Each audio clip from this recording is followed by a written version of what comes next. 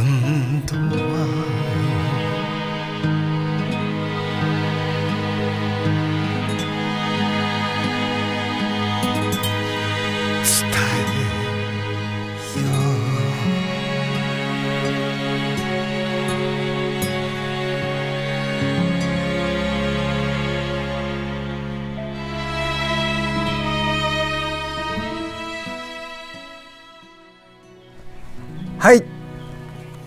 とオープン。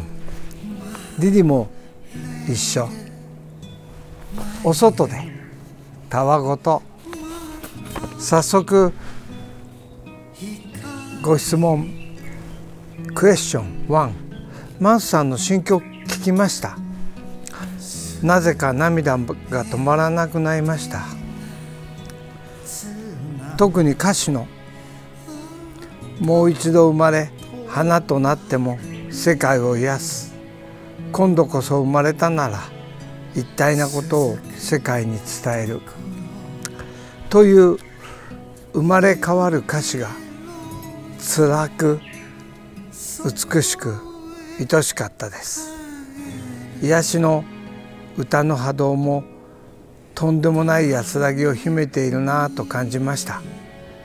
実は私も癒し癒しのシンガーを目指しています。アドバイスをと。そうですね。この方のおっしゃることってすごく重要で声でも雰囲気歩き方でもムードでもその心が出るんですね。歌にもね。自我の野心エデンから出てしまった一体でない競争や喧嘩や争いの価値観は声にも出るし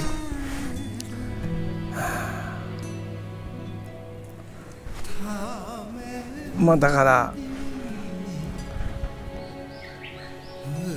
自分がね安らいでるかどうかっていうのがすごく重要でそれが声にも歌にも歩き方にも雰囲気にも全部出る。だからうまいとかテクニカルなものというのは何なんでしょうね。テクニカルなものというのはまあどんなによくできててもその人の雰囲気が空気感がね要は分離のケミカルな感じが出ますよね。悲しいことです。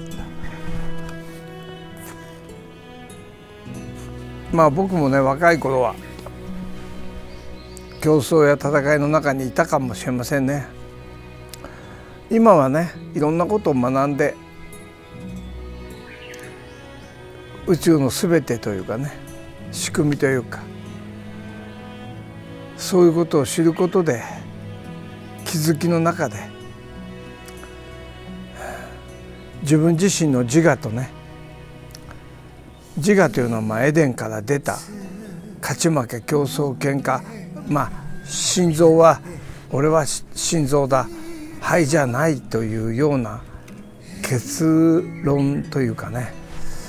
そこから自分を見ながらその差に気づいていったってことでしょうね。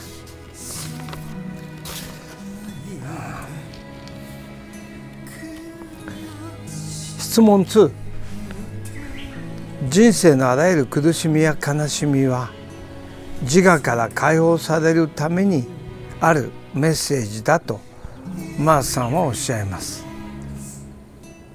そうですね。一体の世界の中で縄文の人々は全てが一体だという価値観の中で神秘で未知で霊的世界だという反霊反物質のね価値観の中で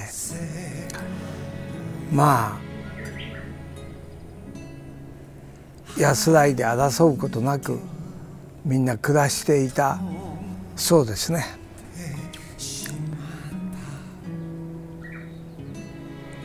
マーさんはおっしゃいます。最近本当にそうだなと思うようになりました。あらゆる悪天候の中でもその上には美しい青空がいつもいつも広がっているのだな。本当の自分がそこにはいるということを感じたいです。そのことについてお伝えください。わかりました。マスアンサー。そうですね。あらゆる自我の苦しみ自我のトラブル自我の問題苦しみ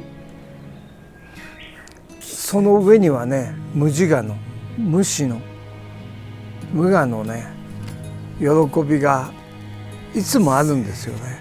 でも僕らはなかなかこう無我にならない。気づこうともしないっていうかね。まあそんな悲しみがありますよね。で今あの世界中の人にいろんなのこのアニメーションのいろんな短編映画が短編広告っていうのかな何十億人もの人に行きましてすごい反応がこういい反応をしていただいてその方たちにこうメッセージしてるんですね。まあ、その中の今日この質問の時に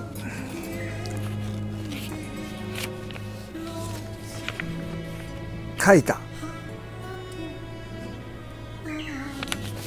2つのメッセージ。若たれの観念。自我の恐れが野心をたぎらすと。必ず気づけという大きなメッセージやトラブルがやってきます。ね、戦争や争い喧嘩裁判とかねうちの父親東京地検のあの公判室長だったんですけど絶対裁判なんかしちゃダメだぞってずっと言ってましたね子供の時から。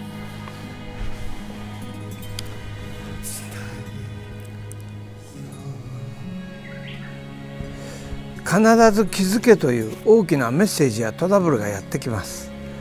若き日自分という自我を見る。自我に気づく。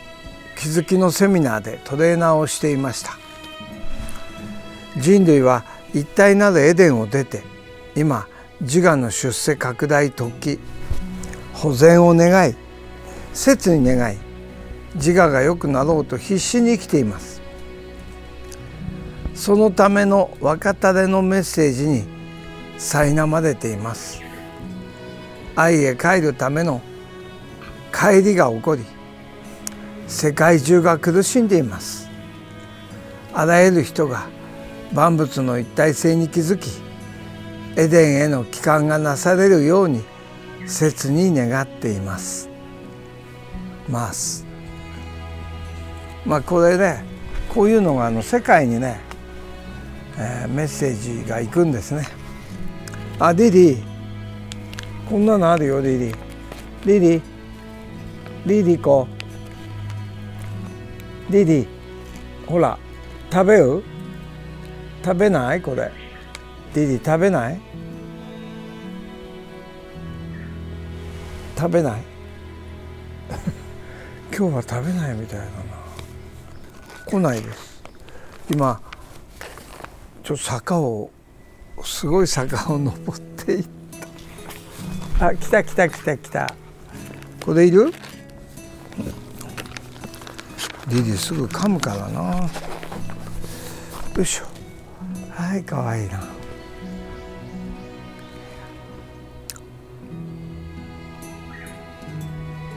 僕若い頃あのそういう自己啓発というか自分を見るというセミナー。トレーナーしてましたがどう見るかっていうとですね、まあ、そういうことをやってた会社が100個ぐらいあったけどある勢力によってこう全部潰されたまあそんだけ素晴らしいもんだったんですね。なぜ素晴らしいかというと自我の動きを見るんですね。それが一体の真の全てと一体の自己とのずずれを見る気づくということでねエデンへ帰還することが可能になるというものでしたね。まあ、そんなエデンという言葉とかそう,、ね、そういう聖書の言葉は出てこなかったけどまあイザヤさんのねいろんな考え方や価値観が家にありましたからね。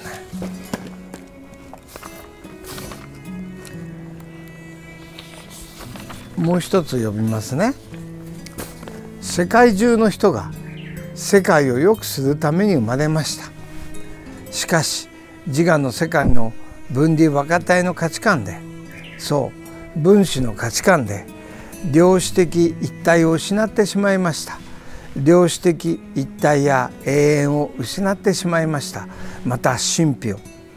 そのために愛の身動きが今では取れなくなってしまったことでしょう。誰もが万物すべてが一体の愛であることに気づき愛しさに帰れるように切に願いエデンへの帰還を願います。ということでまあね今日はね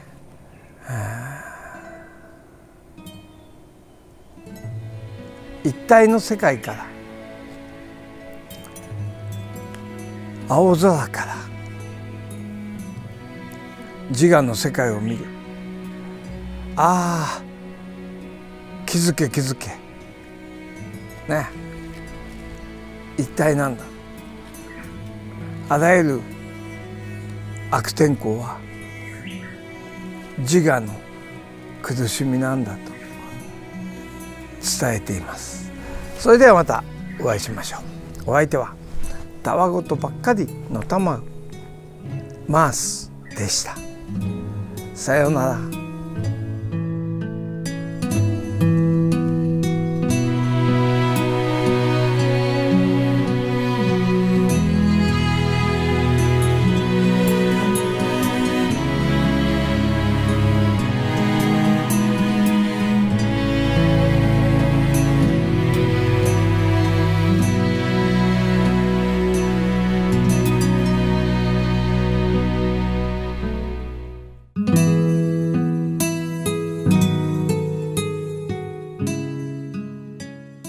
はい。たわごとインナーディディそこに寝てます、えー、お外でね気持ちがいいですね。今日は快晴です。快晴の日は無我の心でいうと無我の状態。でここに雲やいろんな嵐や雨やこれは自我の状態に似ていますね。あのこの自我の問題というのはこういう細胞がねこの前もお話ししましたけど自分だという自我を持っただからこの周りが全部単になったんですねだから落ち着きがなまあないというかできない。周りが敵だらけというかただただからね。一体なんだけどつながってんだけどそうに人間は今思ってないんですね。だから争いや戦いやあらゆる悲しみ。でそれを教えようといろんなメッセージきますね。で自らトラブルを作り。これがあの人類の全てですね。でみんな苦しんでる。敵だと思ってただと思ってね。戦い合ってるまあここの細胞さんが周りをやっつけたり殺したりね騙したりそうしてるっていう状態ですね。まあ、それはやはりあの必然としてトラブルや問題が起きますね。で一体に気づいて帰れというメッセージが来るというのが人生であり世界ですねそれだけのこと要は聖書の最初に書いてある通り知識の果実分離の果実分かったれの果実自我の果実を食べてエデンを出た一体を出た愛を出た神の作った一体の世界楽園を出たっていうねその聖書の問いですね。でそこに皆気づいて帰る文明を作る一体のだから人類がもしその目覚めがあれば子どもたちや、まあ、学校っていうのがいつまであるかは分かりませんがみんな一体を習って全てのものが死んだ万象の全てが一体であるということを気づいてねあらゆることを行為するでしょう。そうするとねエントロピーはないんですよ。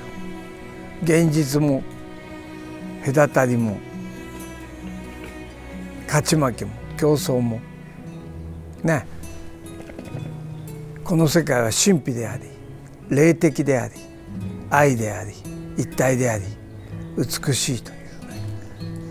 ねそれだけのことですね。でそれをみんなが気づいたらこの世界は楽園になります。ただただ楽園が続きます。リリーリリーみんながねリリーが見えないと寂しがるからね。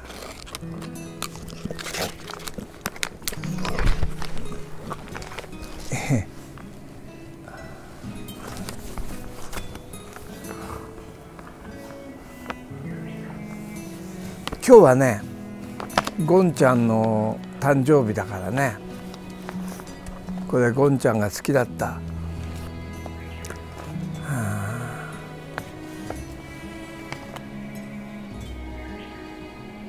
藤ですね。ゴンちゃんが好きだった藤からねお届けしています。みんながね幸せに今回の歌がね生まれ変わって花となって一体を伝えようというね。花となって世界を癒そう。あらゆる方がねそのようにきっと思っていらっしゃるでしょうね。なぜなら楽園のエデンの子だから。一体の宝の子供たちだから。じゃあまたお会いしましょう。お相手はたわごとばかりのたまうマースリリ。ー今遡ってます。リリーでした。さようなら。遡ってる。すごいねリリ。ー元気だね。さようなら。あ来た。リリ。ーはあ出てきた。